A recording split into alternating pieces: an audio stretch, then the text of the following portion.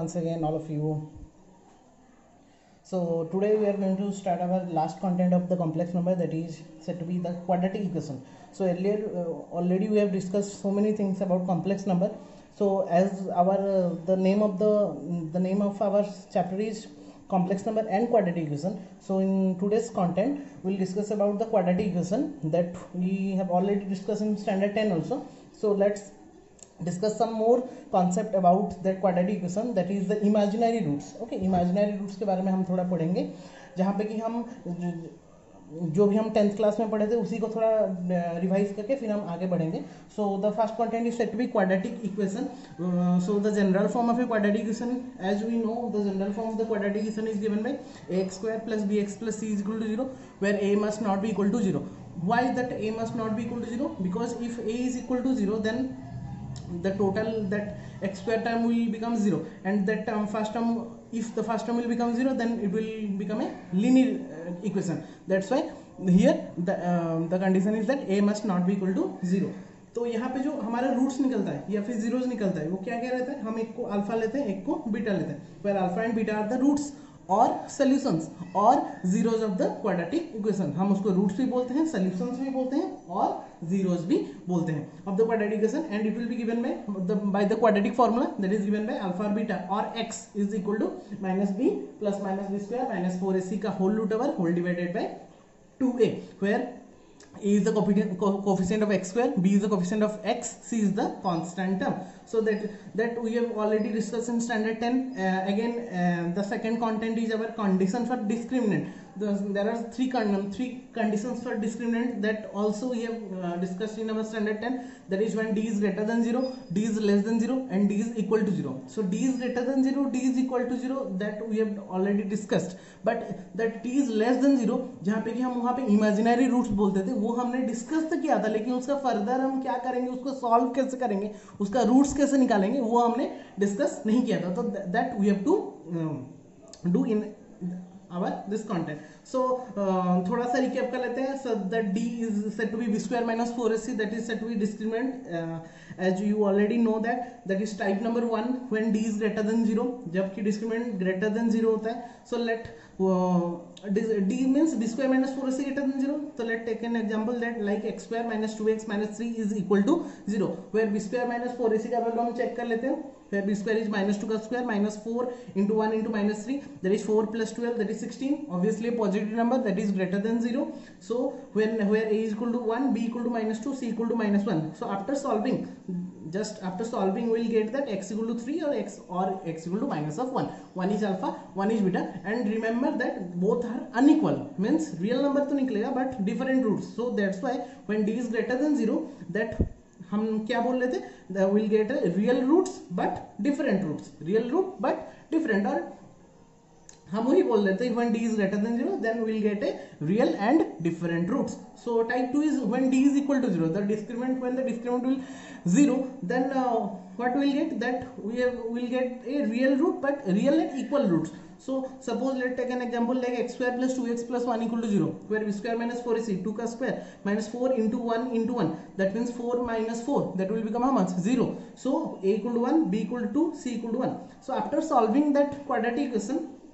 lastly will get x equal minus one और x equal minus one that means हमारा दो जो alpha और बीटा का वैल्यू निकलेगा, वो दो तो निकलेगा रियल रूट्स निकलेगा, लेकिन they are equal also so for D greater than zero will get a real and different roots but when D is equal to zero will get a real and equal roots that we already studied in standard ten so now what we to study in standard eleven concept that is when D is less than zero so when D is less than zero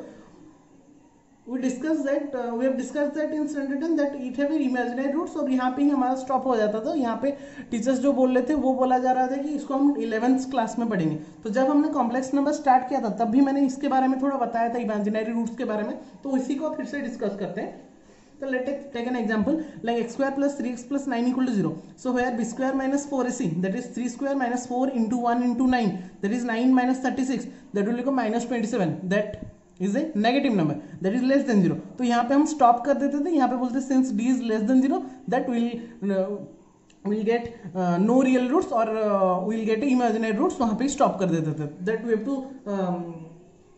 solve in standard 11 so as we are in standard 11 that we have to solve it also so after solving तो यहाँ पे और after solving नहीं लिखेंगे then we have to solve it right over here so when so our formula is x equal to quadratic formula minus b plus minus b square minus 4ac का root over whole divided by 2a so first we have to write a equal to 1 b equal to 3 c equal to 1 a is the coefficient of x square b is the coefficient of x 9 is the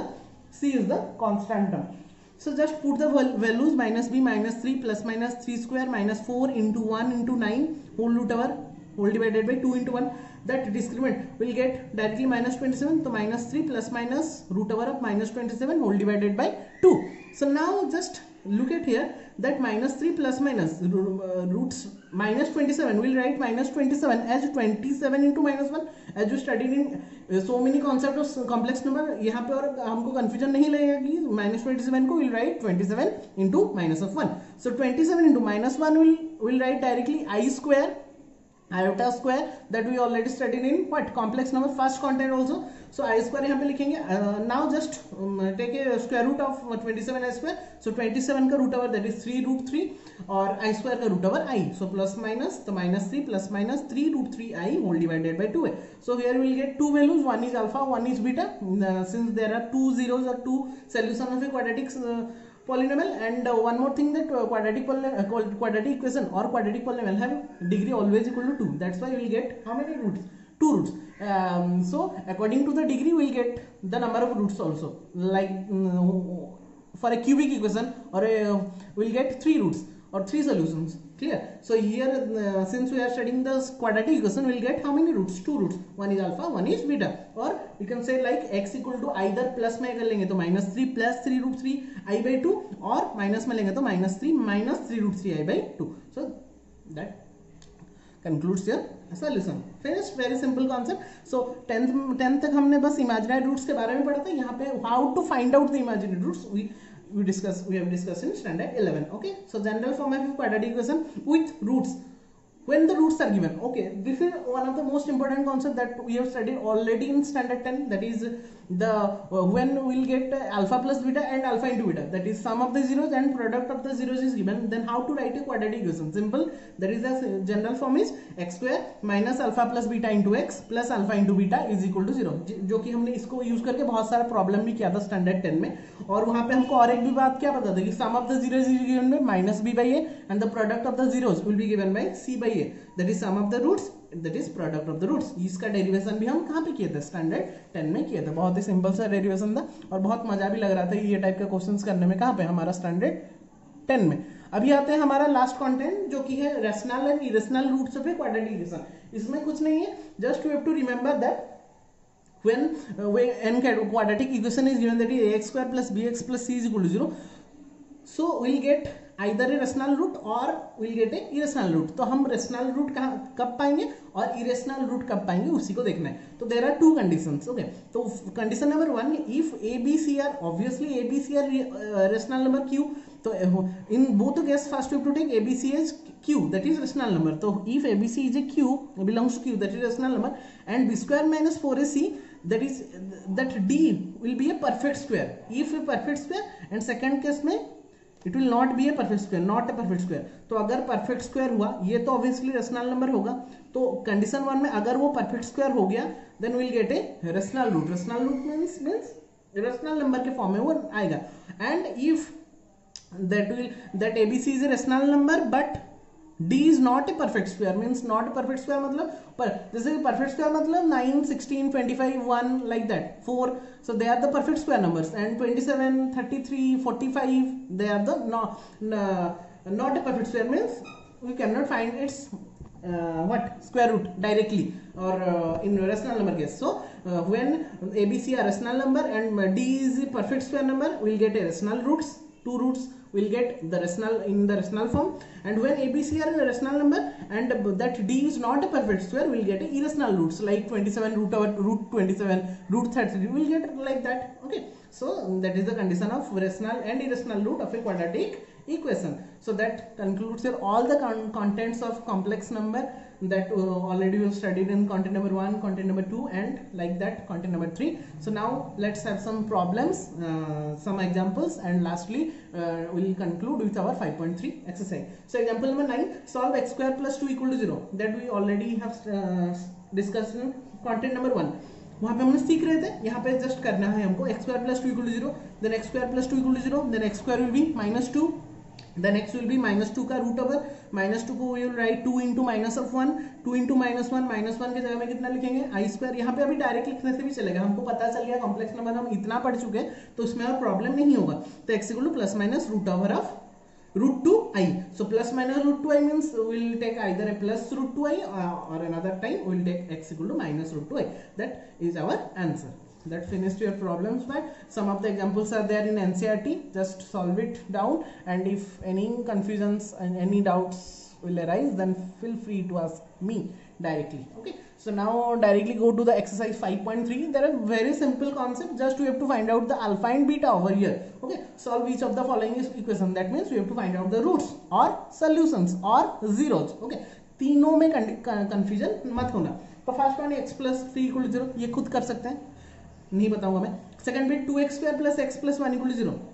So just first write down where a equal to 2, b equal to 1, c equal to 1, very simple. So first we have to check whether the d is greater than 0 or less than 0 or equal to 0. Obviously हमको यहाँ पे imagine हम complex number पढ़ रहे हैं मतलब imaginary निकलेगा but still we have to check that is b square minus 4ac 1 minus 4 4 into 2 into 1 that will minus 7 that is less than 0 obviously uh, if the d is greater less than 0 we'll get a imaginary roots we'll get both imaginary root so directly put the formula quadratic formula x equal to minus b plus minus b square minus 4ac का whole root over whole divided by 2a just put the values minus 1 plus minus minus 7 का over into 2 into 2 that is 4 root 7 so directly we will write root 7 is root 7 i square minus 1 का i square directly in one step we will directly write how much i so minus 1 plus minus root 7 i by 4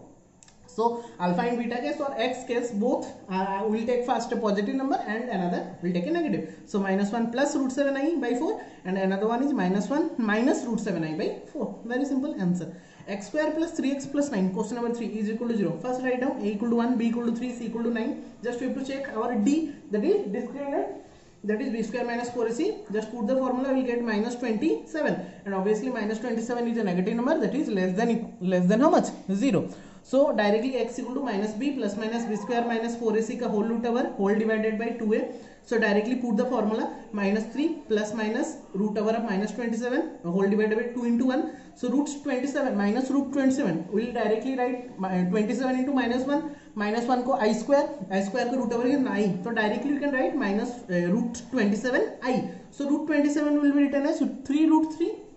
So minus 3 plus minus 3 root 3 i by 2. So first we will take a positive, a positive sign and another we will take a negative sign. So minus 3 plus 3 root 3 i by 2. Another one is minus 3 minus 3 root 3 i by 2. All of you clear? So now come to the 4 and 5 number that is all up to you that is homework. Actually that total um, exercise will be up to you but some hints will be there that is x square minus x plus 2 equal to 0 so where a equal to how much 1 b equal to how much minus 1 c equal to how much 2 so direct first we have to check d discriminant. So b square minus 4ac that is we have to put the values minus 1 square minus 4 into 1 into 2 that will become 1 minus 8 that will become minus 7 that is less than 0 and when minus 7 is less than 0 as d is less than 0 we will get imaginary roots. So directly put the formula x equal to minus b plus minus b square minus 4ac whole root over by 2a that is 1 plus minus minus root 7 root over by 2 uh, that will become 1 plus minus root 7 will write 7 into minus 1 minus 1 ka root over i the i square. Uh, minus 1 ka root over i that will become 1 plus minus root 7 i by 2 so first we have to take plus another time we will take minus. So 1 plus root 7 i by 2 another one is 1 minus root 7 i by 2 okay come to the question number 7 that is root 2 uh, root 2 x square plus x plus root 2 equal to 0 so first we have to write uh, a equal to root 2 coefficient of x square, b equal to 1 that is coefficient of x, c equal to constant term root 2. So first we have to check d that is b square minus 4ac. Just put the formula and put the values we will get lastly minus 7 less than 0 obviously and then it will be a negative number